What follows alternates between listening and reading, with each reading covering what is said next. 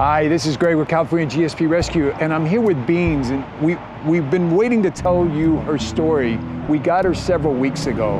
She actually came in the second week of July. She's one of the dogs we got in during that crazy couple weeks, and we wanted to put some weight on her. We're slowly doing that, but you can see she's still thin, but she's doing much better than she was when we first got her. She was just skin and bones.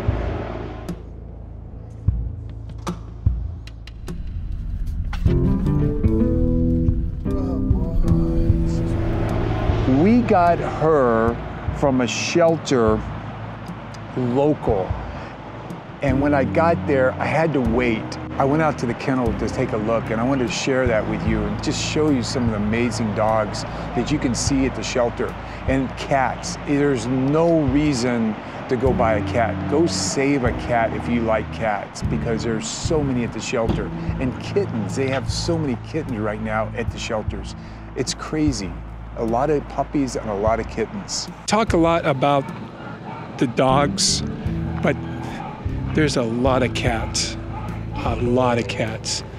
This whole area right here is cats. We're gonna go see some of the dogs and see what they have available for adoption.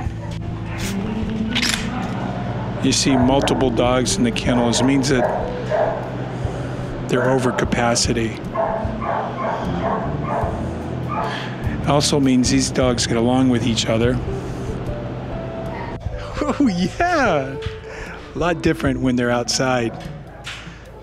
They're young. Look, they want to play. So we've had Beans around several other dogs.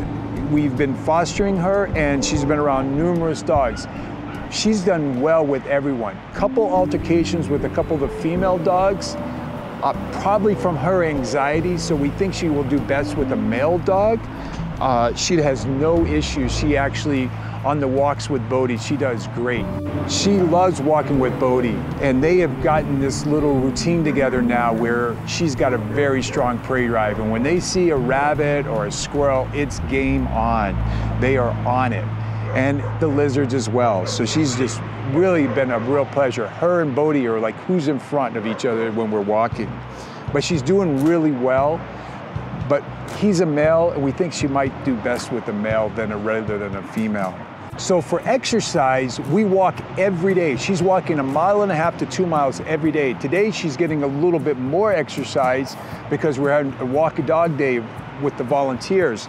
But Jeff hooked her up to a bike and she did well. She needs a little work, but it's a great way to exercise your dog. You can see they get a lot of exercise in a short amount of time. And so if you're pinched for time, teach your dog to go on a bike. It'll save you a bunch of headaches. It'll save something from being chewed if you got a young GSP. Do me a favor, if you're interested in learning more about beans, click the link and go to the website. There you can read more about her and you can fill out an application.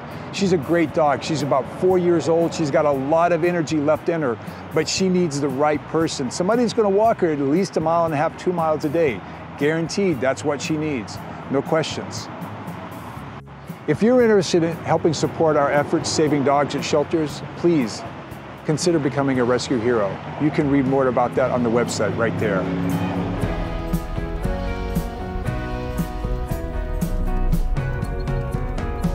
Beans is one of the three dogs we got the week after the 4th of July. That week after we got uh, in Annie and Shogun and Tango, the following week got in Felix, Django, and Beans. The shelter is not the place to be if you're a dog after the 4th of July. They're getting in so many dogs from the fireworks as strays, and some of those dogs aren't going to be picked up and she was sitting there waiting. So we knew we had to act quickly when we, we learned about her. And we got her in, and you can see she's just skin and bones.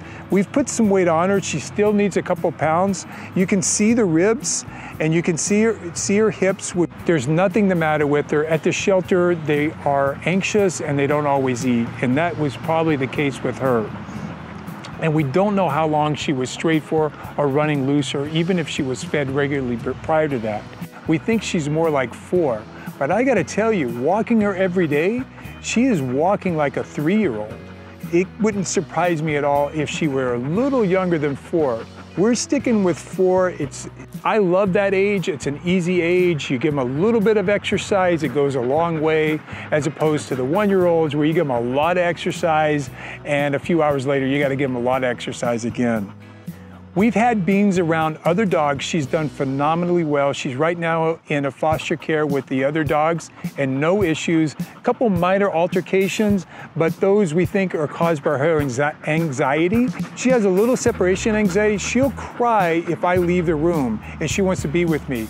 But when I leave to go to work or when I leave to run errands, she seems to be fine with the other dogs. They seem to keep each other entertained. She is good on walks. She did a lot better when I first got her, but she's been learning to get out in front with the other dogs. So she doesn't pull like they do, but she likes to be in front. But it's okay because it's not too much. If you are interested in adopting Beans or one of the other dogs that we've recently taken in, please get that application in. And if you're unable to adopt and you want to help, please like and share this video. There's nothing that helps more than just sharing the videos of the dogs. Somebody out there is looking for Beans and the other dogs we've rescued, and by sharing the video, they have an opportunity to see that dog and possibly adopt them. We greatly appreciate your help in doing that. Thank you.